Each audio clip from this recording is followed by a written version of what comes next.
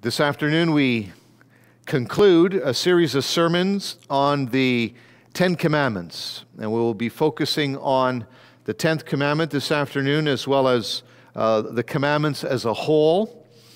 And in preparation for that, let's read together from the book of Acts. Uh, I direct your attention to chapter 20, Acts 20, beginning at verse 17, and we'll read to the end of the chapter.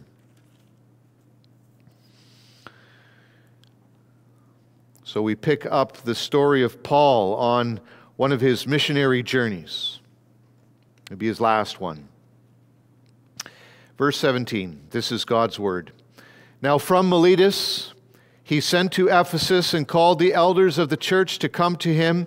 And when they came to him, he said to them, You yourselves know how I lived among you the whole time from the first day that I set foot in Asia, serving the Lord with all humility and with tears and with trials that happened to me through the plots of the Jews.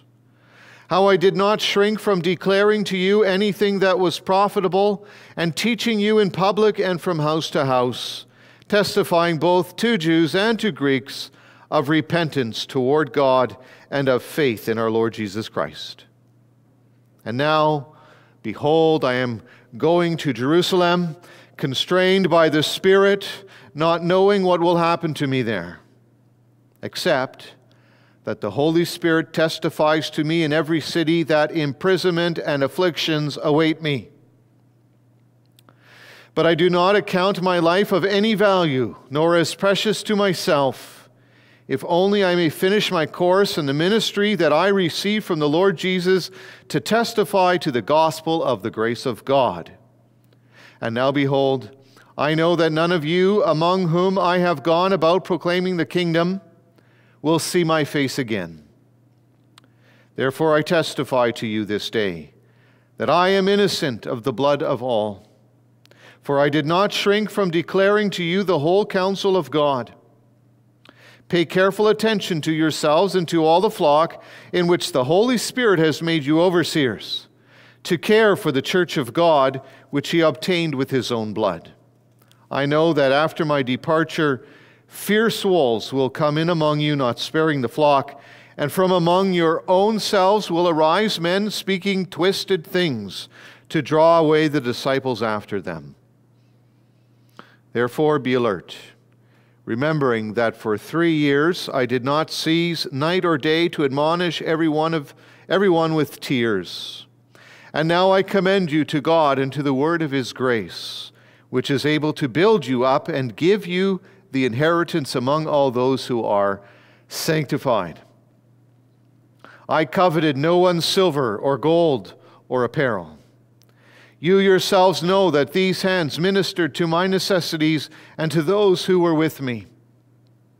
In all things, I have shown you that by working hard in this way, we must help the weak and remember the words of the Lord Jesus, how he himself said, It is more blessed to give than to receive.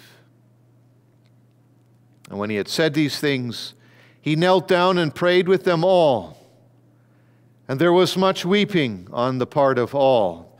They embraced Paul and kissed him, being sorrowful most of all because of the word he had spoken that they would not see his face again. And they accompanied him to the ship. So I preached you God's word this afternoon. Um, God's word as we find it summarized in Lord's Day 44 of the Heidelberg Catechism. You can find that with me on page 558. 558. Lord's Day 44 What does the 10th commandment require of us? That not even the slightest thought or desire contrary to any of God's commandments should ever arise in our heart. Rather, with all our heart, we should always hate all sin and delight in all righteousness. But can those converted to God keep these commandments perfectly? No. In this life, even the holiest have only a small beginning of this obedience. Nevertheless, with earnest purpose, they do begin to live not only according to some, but to all the commandments of God. And finally, if in this life no one can keep the Ten Commandments perfectly, why does God have them preached so strictly? First, so that throughout our life we may more and more become aware of our sinful nature and therefore seek more eagerly the forgiveness of sins and righteousness in Christ. Second, so that while praying to God for the grace of the Holy Spirit, we may never stop striving to be renewed more and more after God's image until after this life we reach the goal of perfection. So, brothers and sisters, when considering the 10th commandment, then we see that we are entering into a whole new world of sorts the whole world of thoughts and desires, of musings, of contemplations of the heart. Right? That's how our catechism puts it as well. Not even the slightest thought or desire contrary to any of God's commandments should ever arise in our heart. And then not only a world of thoughts and desires and of musings and of contemplations of the heart, but the 10th commandment is also speaking to emotions of the heart. Our catechism there speaks about how we want to always hate all sin, and conversely, to delight in all righteousness. So, what's really important to see regarding the 10th commandment is that this is the only commandment of the 10 that there is no outward action associated with it. Uh, there's no negative or positive actions, outward actions that are addressed. But rather, the 10th commandment deals only with the heart. It speaks to the covetousness of the heart, which we learn from God's word is the root. The heart is the root. And so, covetousness that comes from that heart becomes the wellspring of all disobedience forbidden by the other commandments. So, in this way, the 10th commandment is a very special commandment. It's only addressing the heart, but in that light, we also see how it addresses all the other commandments from which our desires and our coveting may lead to uh, bad and um, disobedient action. So, we hear God's word summarized this afternoon under this theme God asks not only for a blameless life, but also a pure heart. You could say God is not only addressing our outward actions through the commandments, but He's also speaking to the root and to the heart of all our actions. God asks not only for a blameless life, but also a pure heart. We'll see first the heart as a source, second, the fruits which spring up, and three, the, the joy that stays. So, first, the heart as a source. One thing we understand from the Holy Scriptures is that as an inward action, coveting is not necessarily a bad thing, but a good thing. The actual word that we read in Scripture simply means to desire or to take pleasure in. And the Scriptures speak a lot about good desires. God even has many good desires, and God addresses in His Word the many things He desires of us. And so also people can desire or covet good things. For example, we might covet prayers during a time of great need. We may covet holiness or covet, covet patterns in our lives which lead to, to happiness and contentment and comfort.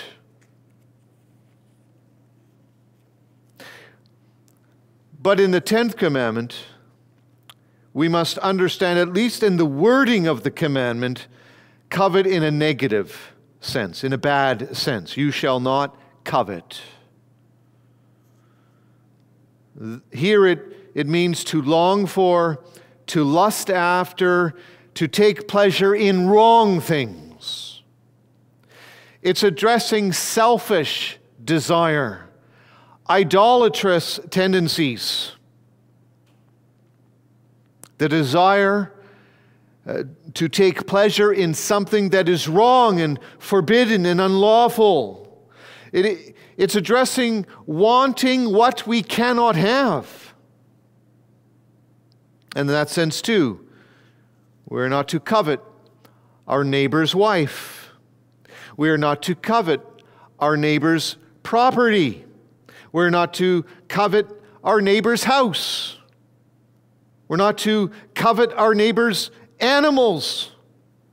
And of course, in the setting of the Israelites, those animals would have been referring to transportation and, and indeed also to those instruments that they needed to, to work the land. So you could say, God is saying, You shall not covet your neighbor's tractor or combine or barn.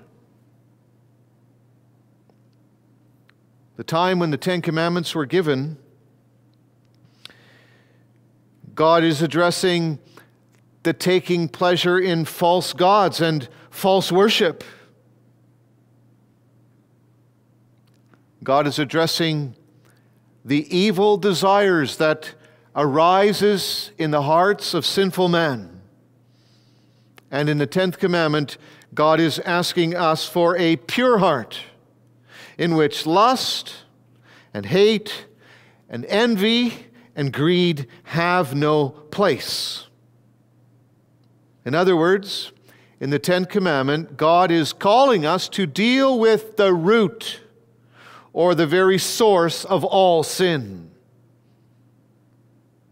He is obligating us to slay sin, not just outwardly but at its very root. He wants us to plug the well from which all other sins spring. Now, here you see then how the Ten Commandment relates to the commandments that have come from before. And the Tenth Commandment, therefore, serves well as a final commandment.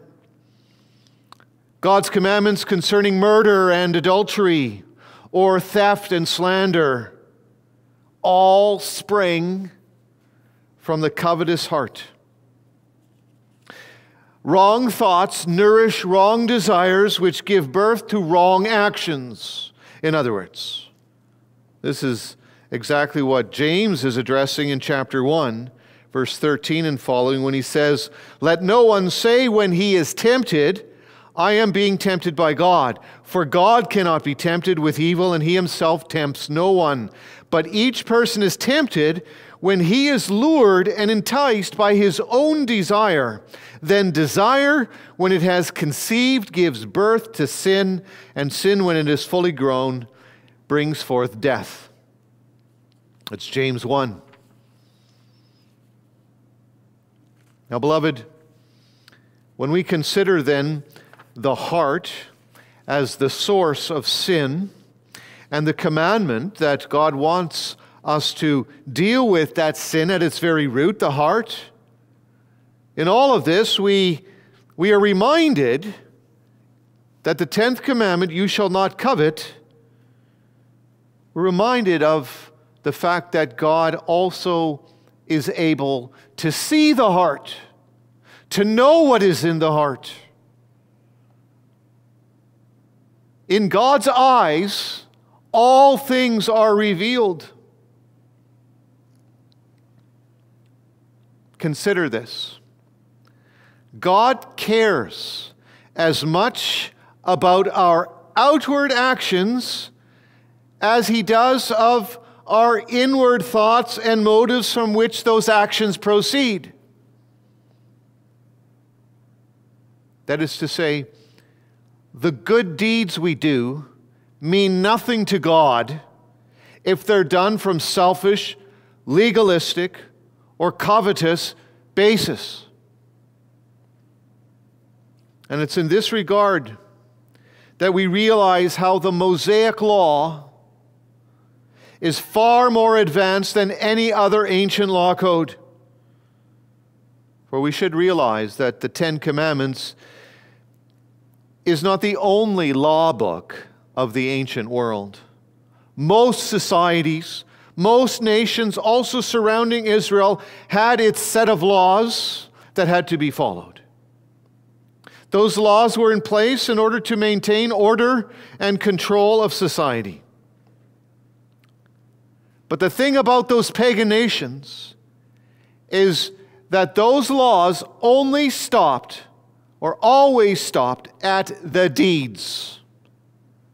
Few of those law codes ever addressed words, and none of them addressed the thoughts of the heart. Here we see how God's covenant law is so unique, and that how for his people God has given a most advanced law, a law that is in existence from the beginning of creation until today and will be until Christ returns.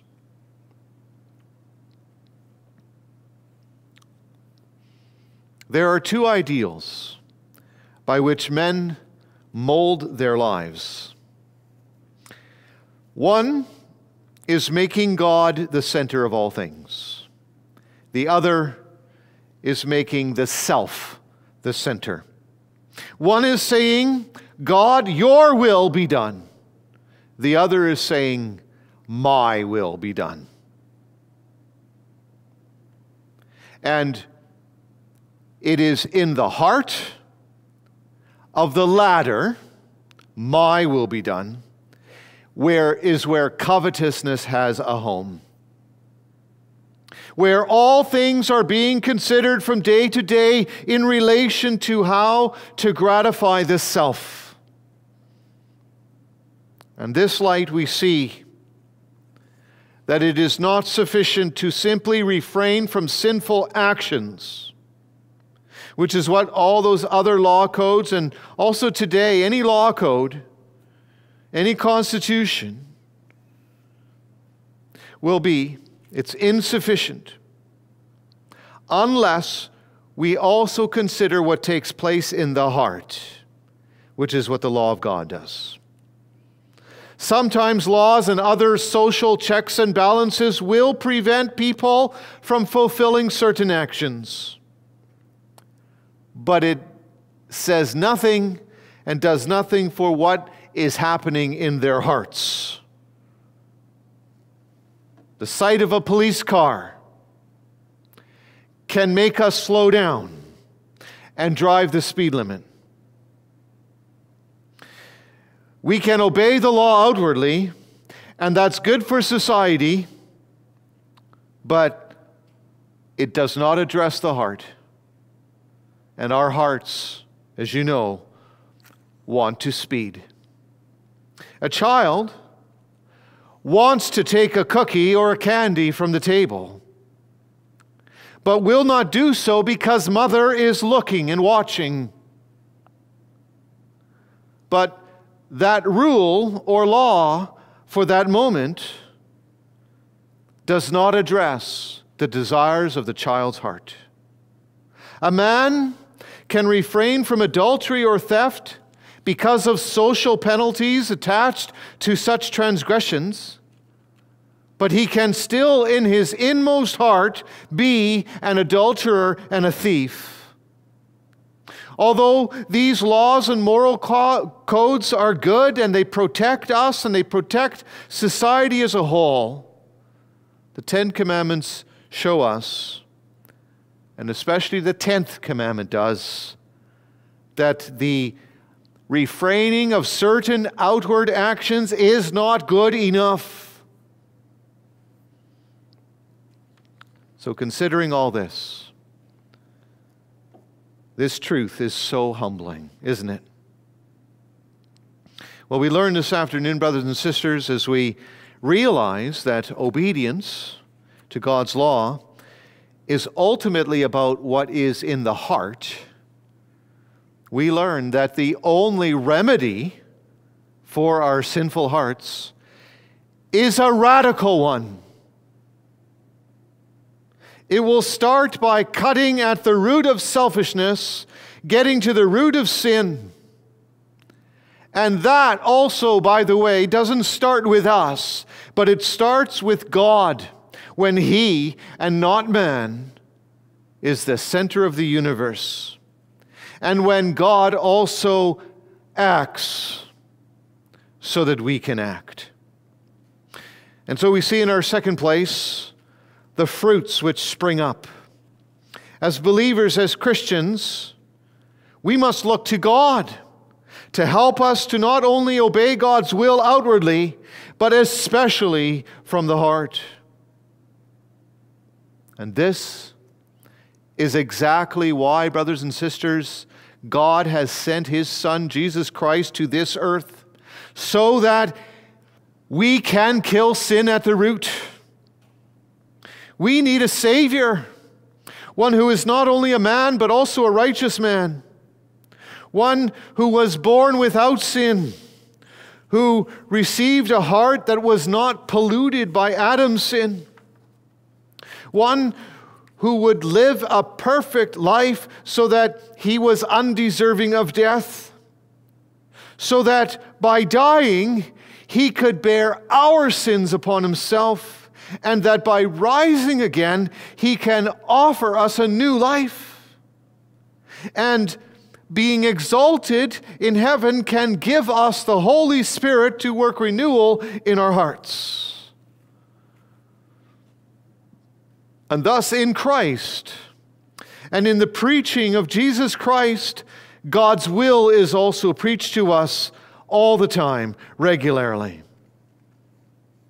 And that's what is also meant, by the way, when it says in the third question, why does God have the Ten Commandments preached so strictly? Strictly means that all the time, regularly. Through the regular preaching of God's law, we will be constantly reminded and therefore convicted of our sins, not only our outward actions, but also the corruption of our hearts and we will be reminded of and called to believe in Jesus Christ. And we will be led by His Spirit to newness of life. So, what then is God's will? It is that which corresponds to His character, which is ultimately that God is love. To live in God's sight is to live in the light of love. We must pray that by the power of Christ's Holy Spirit in us, that instead of selfishness and sin and corruption in our hearts, that God will kindle in us true love. And that in this way there is also power to expel selfishness the love of Christ in us purifies our hearts and guards our thoughts and disciplines our desires. And thus, God's will and his catechism, uh, sorry, and his commandments are truly a positive thing. Because by means of the commandments, God can lead us and guide us to delight in all righteousness. From the 10th commandment, beloved, we can learn that there is much good we can do to one another. Covetousness can give place to a gracious and, and generous disposition. That's how Paul put it as well when he spoke to the Ephesians. He talked, first of all, how he was not motivated by selfishness all the, all the time that he was a Christian and he worked among God's people. But he was motivated by the love of God in Christ Jesus, so that he could say with Jesus, It is more blessed to give than to receive. In Acts 20, Paul truly explains and shows and demonstrates how his love for God and for Jesus Christ translates into his love for Christ's church and for the people of Ephesus, and how that compelled him to meet with them one last time, even though he had no time, for he was in a hurry to reach Jerusalem. Paul, in our passage, shows how he puts himself last to take time to minister to those he loves. He encourages them to live the life of faith, especially because he believes he will never see them again. And that's an interesting point as well that Paul says that, that he is certain that he will not see those elders in Ephesus again. Why does he say that? Well, he tells them how the Holy Spirit has put it upon his heart that suffering and persecution and possibly even death awaits him. He knows that his faith in Jesus Christ is going to lead to difficulties and hardships. This is the fruit of the Holy Spirit working in our hearts, purifying our hearts, beloved, translating our hearts from selfishness to selflessness. If Paul was selfish, he would not go that distance to suffer difficulties and hardships for Christ. But he only he does only that instead what is helpful to his neighbor. He will do what is necessary for his neighbor, even if he has to give up his very life. It truly is amazing, brothers and sisters, what the Spirit can do in us, like he did in Paul. At one time, Paul was indeed self righteous, he was a keeper of the external law. At heart, he was covetousness and a lover of the self. But our passage shows that he is completely changed and transformed so that he can quote his Savior, his Lord, his Master, his Teacher, that it is more blessed to give than to receive. This, these words describe the very life of Jesus himself and how he sacrificed his life for us. And so we are led to ask ourselves today, as well as we consider the 10th commandment, beloved, what about us? How is it with us now concerning our hearts? And then we come to the third point the joy that stays. What we learn from Scripture, what we learn from the Catechism, echoing the Scriptures, is that when our hearts are changed, and when the Holy Spirit dwells in us and, and we are purifying our hearts, then in obedience to God from the heart, joy and peace and contentment enters us. Indeed, we experience a lasting joy, a joy that is not fleeting, a, a joy that is not one that is satisfied for the moment, but a joy, a kind of joy that lasts.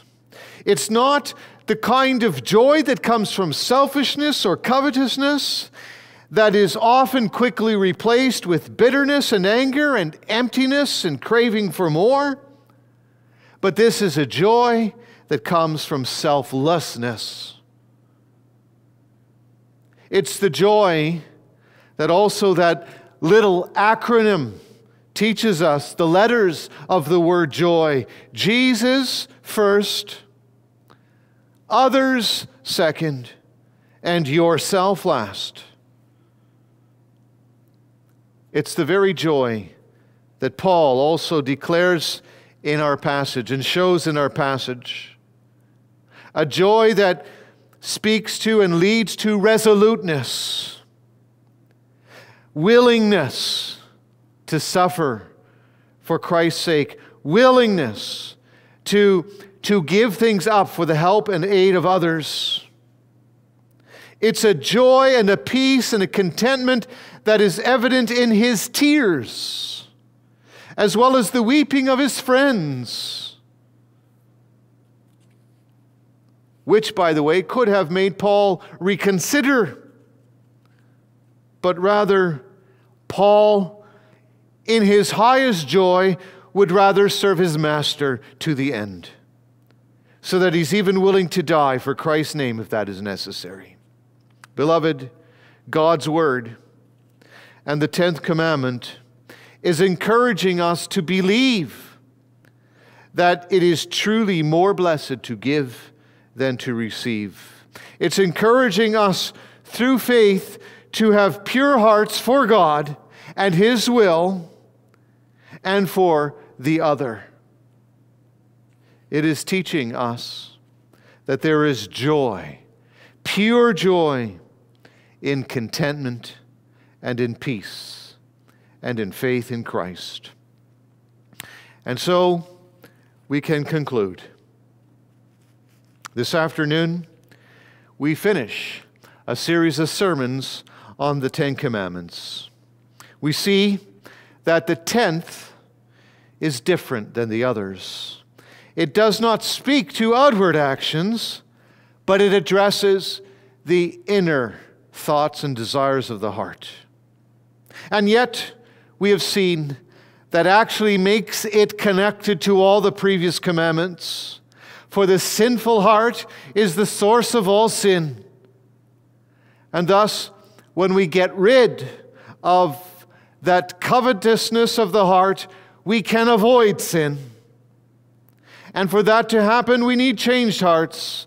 And that's why God sent his Son. That's why the Lord Jesus Christ came. That is why the gospel is preached, including when the commandments are preached. For we learn through that preaching that in Jesus Christ, through faith, our hearts will become wells from which forth spring good things. And we will be filled ultimately with the truest of joy as we seek to live for the Lord more and more. Amen.